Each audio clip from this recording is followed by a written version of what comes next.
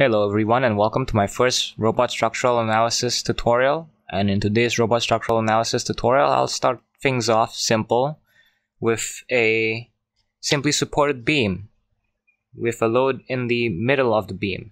So you'll see the diagram somewhere in the video, I guess in the bottom right.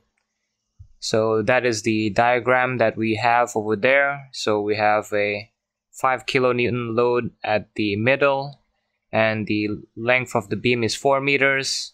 So basically the load is 2 meters away from the left and right supports.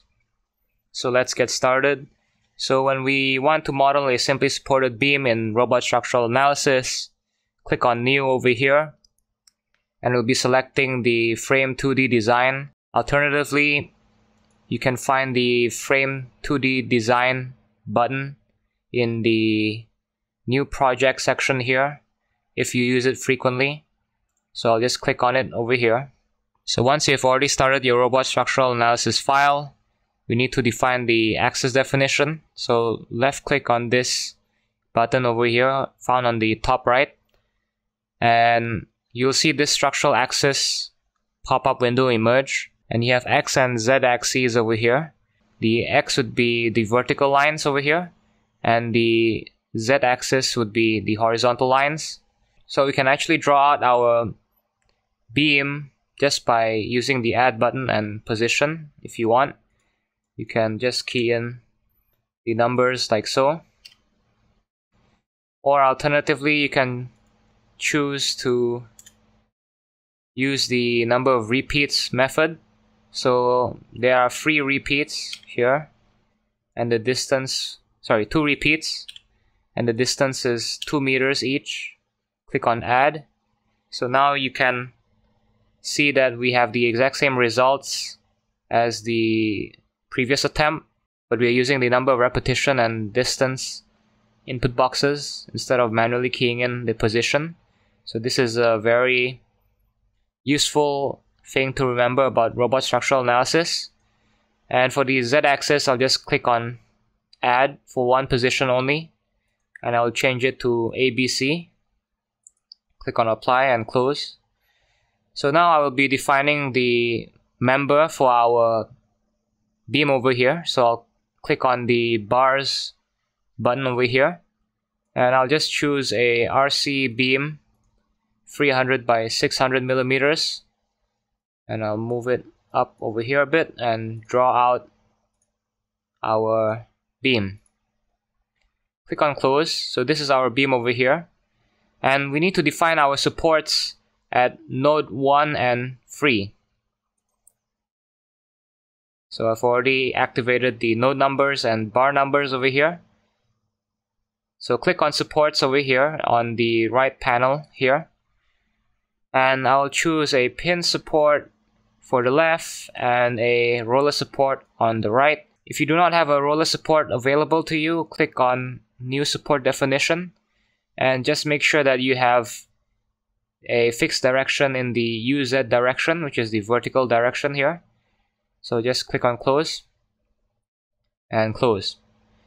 So now let's define the load types over here. So just click on this button once and in this case, I'll just say that the 5 kilonewton load is a dead load. So just click on add like so. Click on close. Click on load definition. Click on nodal force for point loads. And key in minus 5 kilonewtons over here. Minus 5 would mean that the load is acting downwards. Click on add. And select the apply tool box over here. And I'll select node 2 and click on apply and close.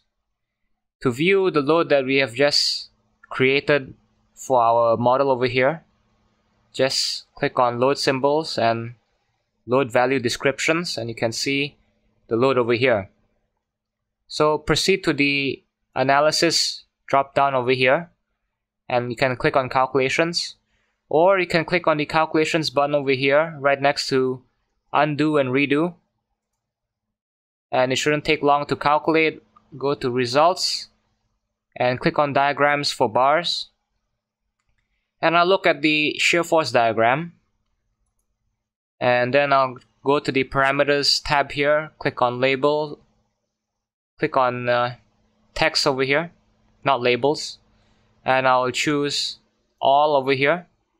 And let's say I want to you know differentiate between positive and negative shear and bending moment and I'll just choose a filled option so you can see that there's something clearly wrong over here we shouldn't be having a shear force of 11 kilonewtons over here at the support. So one thing you need to check when you're analyzing a model in robot structural analysis is the load tables over here.